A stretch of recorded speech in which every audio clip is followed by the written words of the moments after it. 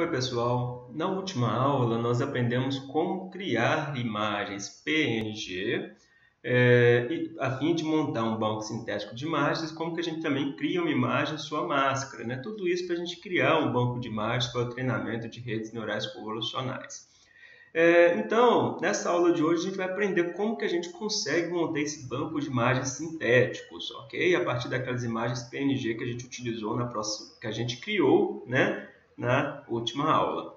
Aqui nesse slide nós temos a estrutura como a qual a gente tem que criar as nossas pastas. Inicialmente a gente vai ter nossa pasta raiz, é aquela pasta onde a gente vai trabalhar, né, onde nós vamos colar os nossos arquivos dentro. Esta pasta pode ter qualquer nome. Porém, dentro dessa pasta nós vamos criar uma outra pasta chamada input.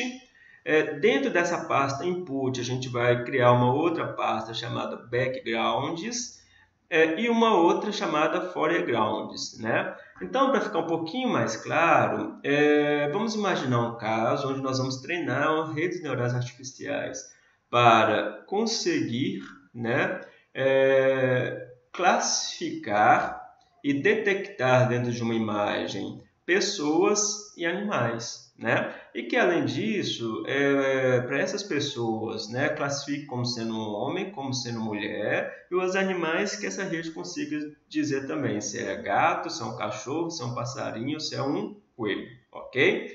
Então, para resolver esse problema, dentro dessa pasta backgrounds, nós vamos colocar vários fundos, né? fundos que não contêm nem pessoas nem animais, ok? Nesta pasta foreground, né, que é, quer dizer o que vem na frente, background é o que está por trás, então o que está na frente vai ser as nossas imagens PNG. É, essas imagens PNG, a gente, é, a gente divide elas, né? Aqui no que a gente chama de superclasses. Então, superclasses são esses grandes grupos que a gente tem aqui, no caso pessoas e aqui animais, nesse exemplo. E essas superclasses, a gente divide ela em classes, né? Então, essas pessoas, né, eu poderia pegar imagens PNG de homens, por exemplo, colocar dentro dessa pasta chamada homem, imagens PNG chamada, dentro dessa pasta chamada mulher, e dentro dessa pasta aqui chamada animais, a gente iria criar cada uma dessas pastas, uma chamada gato, cachorro, passarinho e coelho, e dentro de cada uma delas ia colocar várias imagens PNGs, né, de gato, de cachorro, de passarinho, de coelho. Então, pessoal, isso é muito importante pelo seguinte, é, input, backgrounds e foregrounds, a gente não pode mudar essa grafia, né? Caso a gente não queira mexer na programação que eu vou demonstrar para vocês daqui a pouco. E o que a gente tem aqui na, em cores que não está na cor vermelha, aí sim a gente pode colocar qualquer nome que a gente quiser dentro aí das situações que a gente precisa trabalhar, tudo bem? É, e essa rotina que eu vou apresentar aqui para vocês, ela vai fazer o seguinte, ela vai pegar então essas imagens PNG que a gente tem dentro dessas pastas, né, aqui do nosso foreground, e vai sobrepor ela ao nosso background. E essas imagens que vai compor o nosso background serão retiradas dessas pastas aqui de forma aleatória, é, de forma que dentro de uma imagem a gente pode ter aqui diferentes objetos dentro dela nós vamos ver que a gente consegue configurar também para dizer qual é o número máximo de objetos que a gente vai ter dentro de uma imagem e algumas outras coisas também como rotação, ok? É, então, pessoal, inicialmente vamos lá para o Google Drive, vamos criar essas pastas dentro do Google Drive. Nós vamos trabalhar sempre dentro do Google Drive aqui ao longo das nossas aulas, porque isso vai facilitar muito a nossa vida, para a gente não precisar instalar muitos programas, muitos softwares no nosso computador, né? Que a gente trabalha com o Google Drive, que vai armazenar as informações, com o Google Colab, com os quais nós vamos executar nossos comandos em Python, ok? Mas antes da gente ir lá no Google Drive, vamos ver aqui qual é o nosso problema, né? É, nesse nosso problema, a gente quer apenas distinguir o que é maracujá do restante. Né? Então, como que vai ficar as nossas pastas? Ao mesmo raciocínio, a pasta raiz pode ter qualquer nome, uma pasta que vai sempre chamar input, dentro dela tem o background e o foreground. Dentro do background, nós vamos colocar várias imagens que eu fiz, com fundos que não contêm maracujá, e no foreground, nós vamos colocar aqui ó, uma pasta dentro dela que refere à nossa superclasse, que é maracujá. Né? E dentro dessa superclasse, a gente tem uma única classe que também é maracujá. Então, eu vou criar aqui uma pasta maracujá dentro de outra pasta maracujá, dentro de uma pasta foregrounds. Se fosse, por exemplo, maracujá e uva, eu poderia colocar aqui maracujá e aqui embaixo uva. Né? Se meu maracujá, por exemplo, eu quisesse distinguir o que é um maracujá maduro de um maracujá verde, eu poderia separar aqui em duas abas, né? maturo e imaturo, por exemplo. ok? Mas aqui, como a gente quer só saber se é maracujá ou não, a gente vai colocar uma única pasta dentro aqui da nossa superclasse. É, então, vamos lá. Então, pessoal, eu já estou aqui dentro do meu Google Drive, né? É, trabalhar com o Google Drive é muito fácil, né? O Google Drive é como se fosse um pendrive online, onde a gente consegue criar pastas e dentro de cada uma das nossas pastas a gente coloca os nossos arquivos. Então nós vamos vir aqui, vamos criar uma pasta qualquer, eu já tenho uma pasta aqui chamada Google Colab. Se vocês quiserem, pode criar alguma outra subpasta aqui dentro, só para melhorar a organização de vocês. Aqui eu tenho uma pasta chamada Máscara CNN, né? eu vou aqui dentro. E aqui dentro dessa pasta, nós vamos, eu vou criar uma outra pasta que será a nossa pasta raiz. Né? É, dentro dessa pasta, eu vou colocar o nome dela de projeto Maracujá. Vocês podem colocar qualquer nome que vocês quiserem, ok? E essa pasta, esse projeto Maracujá, essa pasta, ela será a nossa pasta raiz. Então, seguindo aqui aquele, aquela sequência, né, tendo a nossa pasta raiz, vou colocar uma pasta chamada input. Então, vou criar aqui uma pasta, vou chamar ela de input, criar. É, dentro dessa pasta chamada input, nós vamos criar uma pasta chamada backgrounds. Então, vamos criar aqui, ó. backgrounds. É, lembrando que esse B tem que ser minúsculo, então vamos mudar ele aqui. Backgrounds. E vamos criar uma outra pasta chamada foregrounds. Isso. É, dentro dessa pasta foregrounds, a gente viu que a gente tem uma única superclasse, que aqui no caso é maracujá. Então, vou criar uma pasta aqui chamada maracujá.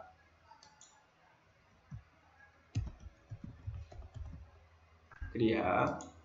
E dentro dessa pasta chamada maracujá, que seria a nossa classe, nós vamos criar uma subclasse, que também nós vamos chamar de maracujá. Porque a gente só quer saber o que é maracujá e o que não é. Né? Se nós quiséssemos saber se é maduro e imaturo, por exemplo, dentro do maracujá eu poderia colocar uma parte chamada maduro e outra imatura. Né? Mas vou colocar aqui maracujá. A gente só quer saber o que é maracujá, a nossa única classe, a única classificação que a gente quer fazer. Né? Dentro dessa pasta maracujá, nós vamos criar aquela, nós vamos colar aqueles objetos PNG que nós conseguimos fazer né, na última aula. Então, nós temos aqui as nossas imagens PNG. Eu tenho aqui um total de 18 imagens. Né? Eu vou pegar essas imagens PNG e vou colar dentro dessa pasta chamada Maracujá. Então, só puxei ali, arrastei e aí é só esperar carregar. Prontinho, nós conseguimos então colar as nossas imagens PNG aqui dentro dessa pasta Maracujá Vou voltar aqui um pouco, é que no nosso background nós vamos colocar nossas imagens de fundo. É, o que, que seriam essas imagens de fundo? Essas imagens de fundo são algumas imagens que eu tirei do próprio conjunto de dados nosso. Nós temos aqui o total de é, 16 imagens, né? Isso é muito pouco, pessoal, mas vamos brincar aqui só com esse conjunto de dados pequeno, né, que ele fica leve para vocês fazerem o download que vai estar aqui na descrição do vídeo, o link, e para a gente ver também se a gente vai ter um resultado bom mesmo com um conjunto de imagens né, tão pequeno aqui para treinamentos. Mas o que, que eu fiz? Eu fui naquelas várias fotos que nós tínhamos lá, né, os vários frames, e para cada um dos frames eu fui destacando aqui alguns pedaços onde não tinha nenhum maracujá, né? É, então, nós temos aqui essas imagens, depois vocês podem olhar elas com bastante calma. dentro das quais eu destaquei aqui né, vários pedaços onde não tem nenhum maracujá. Né? Tem até uma foto aqui que eu tenho que excluir, que é essa foto final 18, né? é essa daqui. É, então, pessoal, eu vou pegar essas fotos nós vamos arrastar ela para essa pasta chamada background. Ótimo! Agora nós já conseguimos colar essas imagens aqui de background dentro dessa pasta background. É, isso, pessoal, é o principal que a gente precisa fazer aqui. Para não dar erro na próxima etapa, é só escrever foregrounds direitinho, backgrounds tem que escrever aqui direitinho, do jeito que está aqui, a pasta input também. E apenas lembrando, sempre dentro do nosso background. Nós vamos colocar fotos, então, que não contêm os nossos objetos que a gente quer classificar. E no foreground, o que bem na frente, a gente sempre vai criar aqui o nosso número de pastas, que a gente vai criar o nosso número de superclasses, né? E dentro de cada uma dessas superclasses, né, que a gente, a única superclasse que a gente tem é maracujá, a gente vai criar uma pasta com as classes, né? É, que nesse caso aqui também é maracujá ok? E dentro delas é que a gente coloca aquelas imagens PNG, beleza. Agora que nós já configuramos aqui, colocamos, criamos as pastas com os nomes apropriados, é, vocês vão colar dentro dessa pasta raiz, né, que eu chamei aqui de projeto Maracujá, um arquivo. Esse arquivo é chamado criar bancos de dados sintéticos. Né? Vocês também vão conseguir fazer o download aqui na descrição do vídeo. Este arquivo aqui ele é um arquivo que ele abre no Google Colab. Eu dou um clique duplo aqui já apareceu abrir com Google Colab.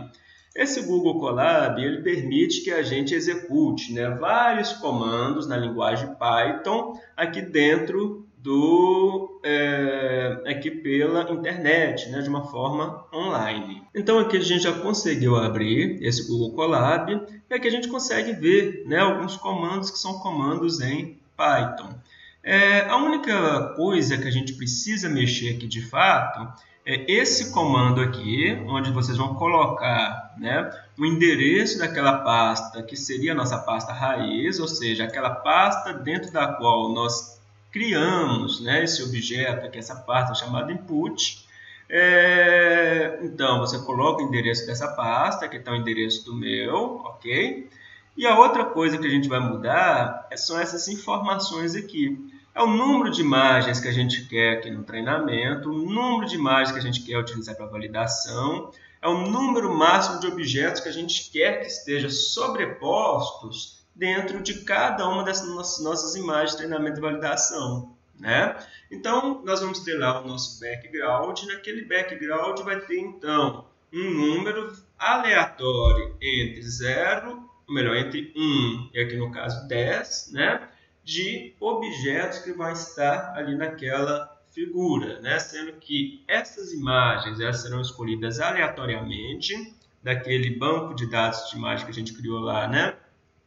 É, que seria o nosso foreground, é, e o posicionamento dessas imagens né, PNG dentro do nosso background também se dará de forma aleatória. Aqui é o tamanho dessa imagem de saída. Né? As nossas imagens de saída, que serão essas que serão utilizadas aqui para treinamento e validação, elas sempre devem ser imagens quadradas. Né? Então, basta colocar aqui, eu coloquei aqui 320, então a gente vai ter uma imagem né, aqui de saída de 320 linhas por 320 colunas. Né? Se vocês quiserem de 512, por exemplo, uma imagem maior, né? é só mudar aqui. Essa rotação se vocês quiserem né, que esses objetos seus eles se rotacionem de forma aleatória né, dentro da nossa imagem, basta colocar aqui, rotacionar igual a true. É muito legal a gente deixar essa função de rotacionar ativada, né? porque aí o nosso objeto de interesse vai aparecer com diferentes rotações dentro das nossas imagens. Isso cria uma riqueza de variabilidade do nosso conjunto de dados muito maior. Essa outra função é mudar a escala. Isso vai fazer com que esse nosso objeto PNG é, ele também fique né, dentro da nossa imagem ou um pouquinho menor ou um pouquinho maior de forma aleatória. Né? Isso também cria uma grande variabilidade. Se você não quiser que a escala dos seus objetos muda, basta colocar aqui como falso. E por último, a gente tem essa opção aqui, mudar brilho. Isso faz com que é, o brilho dessa imagem PNG, né, sobre o nosso background, ele seja diferente, ele seja aleatório, de forma que em algumas imagens ele pode parecer um pouquinho mais claro, em outras um pouquinho mais escuro, isso também é algo muito vantajoso, né, para que as nossas redes elas sejam bem generalistas. Sempre quando a gente for trabalhar aqui com uma imagem, com banco de de treinamento, banco de de validação, é legal a gente trabalhar com um valor bem grande, né? Tipo, 3 mil imagens para treinamento, mil imagens para validação. Eu vou colocar aqui 30 e aqui 10, só para andar um pouquinho mais rápido e a gente entender, né? O que, que nós vamos, o que a gente precisa fazer aqui, né? E depois eu mudo aqui, põe 3 mil e mil, né? Que isso daqui vai demorar um pouquinho. É, o que, que nós temos aqui embaixo é uma série de comandos que vai fazer com que essa nossa função, né? Ela de fato funcione. É, e o que, que acontece, pessoal? Essas rotinas aqui, vocês não precisam mexer em nada, né? Elas já são as rotinas que vai pegar essas informações que estão aqui em cima e fazer tudo funcionar. Né? Então, vocês precisam se preocupar só de mexer aqui, né? colocar o endereço da pasta e aqui para colocar esses parâmetros, né? que são muito importantes. E aqui não precisa mexer. É... Muito importante eu falar né, que esses comandos aqui eu não criei eles, né, eu apenas editei. Né? É, eu editei ele para a gente conseguir trabalhar aqui dentro do Google Colab de uma forma muito mais fácil, só criando nesses parâmetros aqui em cima, editando e aqui ele já vai funcionar tudo direitinho. Né? Mas o mérito de criar essa grande quantidade de rotinas aqui, de fato, né, foi é, por uma pessoa né, que postou esse projeto aqui no GitHub. Caso vocês queiram conhecer, nesse né, pacote é só vir aqui escrever esse comando, né, ou melhor, esse link, e aí vocês vão chegar nessa página. E aqui ele vai criou né, esse, essa biblioteca chamada CocoSint, é, onde a partir dele a gente consegue criar né, um banco de dados sintético já nesse formato do coco, que é que a gente precisa do treinamento. E aqui a gente consegue até ver o link né, do site desse autor. Né? Esse autor ele tem alguns cursos é, disponíveis né, lá no Udemy. São alguns vídeos, alguns cursos bem legais, eu já fiz alguns deles. É, mas então, pessoal, eu peguei essas rotinas, né? Esse daqui serve para a gente utilizar no nosso computador, né? Ou seja, offline, onde a gente tem de abaixar o Python, tem que instalar o Python no computador da gente, o Anaconda e um tanto de outros pacotes, né? O que é, requer memória, dá um trabalhinho a gente tem que saber um pouquinho de programação, né? E aqui, quando eu passei isso aqui para o Google Colab, já está tranquilo, né? Já não é mais necessário tantos conhecimentos, não é necessário instalar nada no computador. Então, esse primeiro comando aqui é para fazer com que o Google Colab tenha autorização para acessar o nosso Google Drive. Então, basta eu vir aqui, apertar o play, aguardar um pouquinho, e aí ele vai aparecer um link.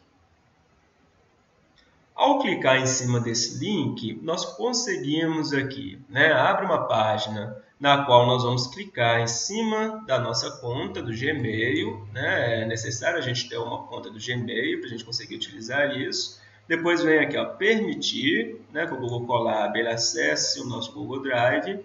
E aqui tem uma, os códigos, basta eu clicar aqui que eu consigo copiar esses códigos. Aí a gente cola aqui né, nessa lacuna e dá um Enter. Quando a gente faz isso, nosso Google Colab ele vai é, parear né, com o nosso Google Drive, prontinho. Depois de fazer isso, nós vamos escrever aqui o endereço que nós temos na nossa pasta raiz. Esse daqui é o meu endereço. Vou dar um OK, beleza. Próximo passo é definir esses parâmetros. Como eu falei, números de treinamento, números de validação. Vou deixar aqui só 30 e 10, né? Para ir rápido os comandos lá embaixo. É, mas daqui a pouco eu vou colocar aqui 3.000 e 1.000, né, que será o que de fato a gente vai utilizar. Então, vou dar aqui o play, na hora que a gente faz isso, beleza, ó, parâmetros carregados. E é só isso que a gente precisa fazer. Né? Eu vou clicar aqui.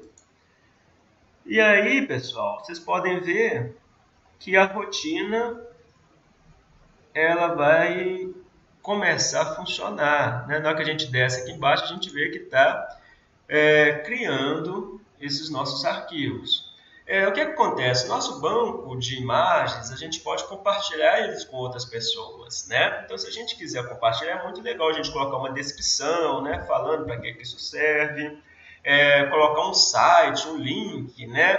É, do projetinho que vocês estão criando, é, falar qual é a versão desse seu banco de dados, né? Falar seu nome, que é o nome de quem criou esse pacote, se tem alguma licença, né? é bom colocar, mas caso contrário é só colocar qualquer coisa aqui, né? É, isso é só para quando a gente vai compartilhar. Então ele criou aqui a nossa amostra de treinamento e agora está pedindo essas mesmas informações para a nossa amostra de validação, né? Eu vou colocar a letra A aqui para todo mundo, né? Para a gente não precisar escrever nada, até mesmo se que é só um exemplo qualquer. E quando a gente faz isso, ele vai então criar as nossas pastas, né? Como vocês podem ver aqui. Aí, ó, como a gente pode ver aqui, né? O projetinho ele já parou, já terminou de rodar. É, vou voltar aqui dentro do nosso Google Drive, vocês podem ver que já apareceu duas pastas, uma pasta chamada validação e outra chamada treinamento. Né? Em cada uma dessas pastas, nós temos aqui tudo que a gente precisa. A gente tem esse objeto chamado é, coextensis, né, que esse objeto aqui ele vai ser utilizado na próxima aula, né, é, para a gente fazer o treinamento da rede, e tem essas duas pastas. Na primeira pasta, que é nessa pasta chamada Images, a gente tem as nossas imagens, né? Essas imagens então, vocês podem ver que tem os frutos de maracujá, que os frutos de PNG que foram sobrepostos aqui ao nosso background. É, eles foram selecionados entre aqueles vários que a gente teve de forma aleatória e sua exposição foi feita aqui também em locais aleatórios, com inclinação também aleatória e um brilho aleatório, ok? Então a gente consegue ver aqui várias imagens onde a gente consegue ter né, o fruto em diferentes locais. Isso faz com que a gente tenha uma variabilidade muito grande nessas nossas imagens. Né? E junto com essas nossas imagens aqui de interesse, né, essas imagens que as redes vão utilizar para o treinamento delas, a gente tem também as máscaras. Né? Então, para cada uma daquelas imagens, a gente vai ter aqui uma máscara. Né? Tendo nessa máscara uma cor para cada um dos nossos objetos. Então, as redes neurais precisam disso. Ela precisa tanto da imagem quanto da máscara e precisa também desse arquivo aqui chamado corpo extenso, que contém né, informações sobre cada uma dessas imagens e a coordenada dessas máscaras, né, é, informações essas que as redes necessitam, ok? Então, vocês conseguem imaginar que se nós fôssemos trabalhar utilizando aquela estratégia, né, que não seria criar o um banco sintético de imagens, nós iríamos precisar criar mil imagens, né? É, e para cada uma dessas mil imagens que a gente obteve, seja pela internet, seja por meio de uma câmera fotográfica, nessas mil imagens, por exemplo, a gente teria que criar uma máscara, né? E além dessa máscara, a gente teria que criar também esse arquivo Coextens. Então vocês podem imaginar o trabalho que isso seria, né? Para a gente montar um banco de treinamentos com 3 mil imagens, a gente poderia gastar até umas duas semanas para fazer esse trabalho. E aqui, utilizando essa técnica né, de banco sintético de imagens, vocês conseguiram ver que a gente consegue fazer isso de uma forma muito rápida, né, gastando menos de uma hora. Então, uma economia de tempo gigantesca, ok? Então, pessoal, a gente já aprendeu aqui muitas coisas legais aqui, né? Nós conseguimos, então, aprender como que a gente consegue criar o nosso banco de dados sintéticos já nesse formato pouco, né? Que é que a gente vai precisar daqui a pouco para a gente trabalhar com o treinamento das nossas redes, ok? Isso daqui a gente vai ver na próxima aula. Para quem não se inscreveu no canal, se inscreva, compartilhe os vídeos aí, né? E fique de olho para a gente acabar, né? Para a gente conseguir aprender toda essa questão aqui associada à visão computacional, ok? É, até a próxima aula.